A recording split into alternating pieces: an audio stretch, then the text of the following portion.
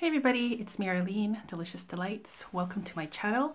Now I have had some requests to talk about cherry smoothie again. This is from Zara and some have asked if this is actually a dupe of Tom Ford Lost Cherry. I don't own that bottle, I just have a small sample here that I've been using and I have been wearing this for the past like four or five days now uh, and have been comparing it to the Tom Ford Lost Cherry. So first I want to talk about the cherry smoothie from Zara. It was a blind buy for me. This one I believe was $50.95 and this is a, I think it's 90 mil.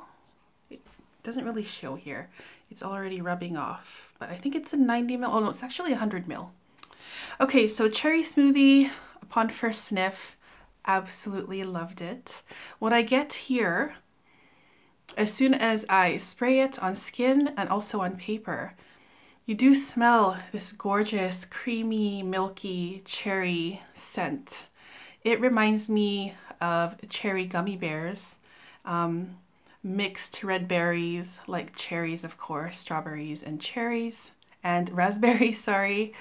And also when I smell this, I'm also reminded of the cherry scented chapstick, which is actually a scent that I don't mind at all. Um, in the winter time, my lips do get chapped and dry, and sometimes I use that cherry chapstick. And yeah, you do get a little bit of that in here as well. But the texture of this fragrance kind of takes over that chapstick kind of scent. And it's milky, it's frothy, it reminds me of a cherry or strawberry milkshake. I'm getting some whipped cream vibes in here as well. It's very delicious, mouth-watering, gourmand, sweet. So after a few minutes in the mid and dry down of cherry smoothie, it starts to get a little bit powdery on my skin um, but it still stays creamy. The texture is still creamy as it was in the opening. And also, I do find that as this fragrance dries down, I like it more and more because of that nice creamy whipped cream kind of thing that it gives off.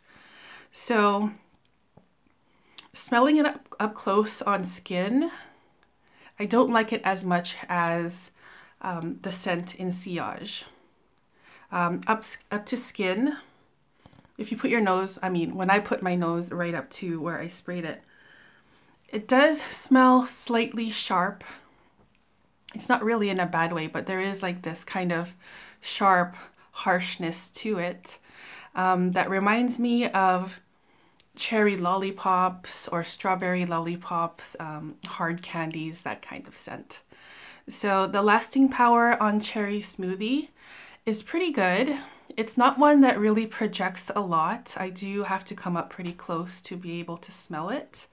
Um, but yeah, the staying power is pretty good, pretty average. I would say, I haven't really timed it, but maybe five, six hours, um, but very, very close to the skin.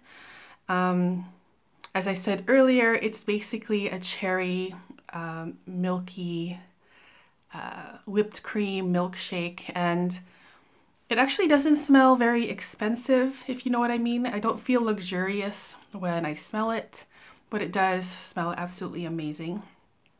And as I said earlier, it smells better, you know, when I get whiffs of it rather than putting my nose right up to it. So now there's Tom Ford Lost Cherry. I have reviewed it in the past. I can link it down there if you guys are interested. And with Lost Cherry, right away, upon first sniff, you can tell that it's definitely not as sweet as the cherry smoothie. It's it has this more smooth and rich feeling to it. It's less candy-like and also it has a nice warmth to it. Um, there's a little bit of nuttiness in here as well. And it just makes me feel like really nice and cozy. I believe there's almonds in the note, in the note breakdown for uh, Lost Cherry. And I do get that nice, warm, cozy nuttiness out of the uh, Tom Ford. So when I wear the Lost Cherry, uh, I do smell a whipped cream. It reminds me of whipped cream with cherries on top, very much like a nice sweet dessert. And imagining chopping up some ripe cherries and also putting that on top of this whipped cream dessert. And it smells like a mixture of different cherries. I'm thinking of unripe cherries as well that gives off a little bit of a sour tanginess to it mixed in with overripe cherries making it very juicy.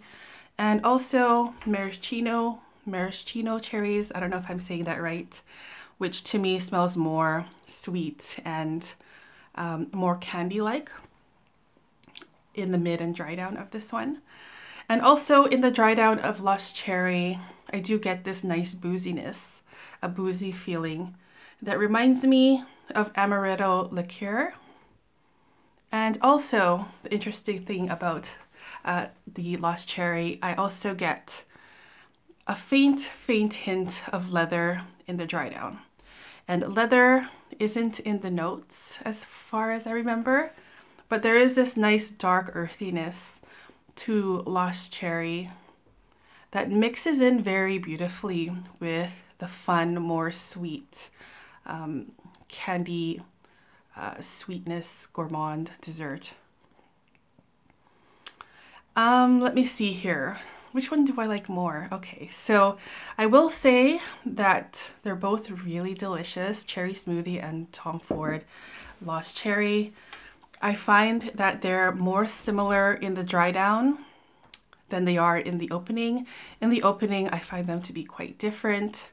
In the same family, yes, where the cherry is dominant, um, but in the dry down, you can just tell that the lost cherry is a lot more complex. It has more depth. It's more interesting. With longevity and performance, the cherry smoothie actually lasts longer on my skin as a skin scent. Um, with cherry smoothie, it gives off this nice, happy, fun, flirty kind of kind of vibe. It's not that serious. Uh, the Lost Cherry for me feels a lot more elegant and more refined, more serious, more luxurious. And honestly, smelling them side by side, when you really like think about it, you can definitely smell the differences. But I don't really, I don't know. I like them both for different reasons. Of course, the price with this one is is a lot more affordable. Um, $15.95 for the cherry smoothie. Tom Ford Lost Cherry, I don't know exactly what it is now because they keep on raising prices and I'm very like lost with um, you know how often you know when I see the prices of Tom Ford it just feels like it's getting higher and higher but yeah I can uh, find out and I'll just uh, write it down there somewhere. But Lost Cherry is very very expensive and um, as I said earlier you can tell the differences but at the end of the day for me it depends you know of whether I like the scent of them, and I like them both a lot. They're both wonderful. If you liked Tom Ford Lost Cherry, um, yeah, you probably really like this one, again, because of the price and also because mostly in the dry down, um, they smell the most similar, um, but they're definitely not the same fragrance. I don't know if I want to call it a dupe or not, but I will say that um, this one is definitely in the same family as the Tom Ford um, Lost Cherry. In any case, for me, it was a successful blind buy for $50.95. It's very easy to wear. It's a fun fragrance. I absolutely love it. Um, I love the Tom, uh, the Lost Cherry as well.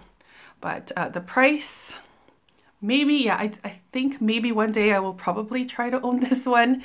Uh, but in the meantime, I do not mind this one at all. And it was, for me, a safe blind buy. And if you see it in the store, um, maybe you should definitely get your nose on it. And yeah, that was basically my comparison video between Zara cherry smoothie and also Tom Ford Lost Cherry. So I hope you guys enjoyed the video. If you've tried both, please let me know what you think of it of that in the comments.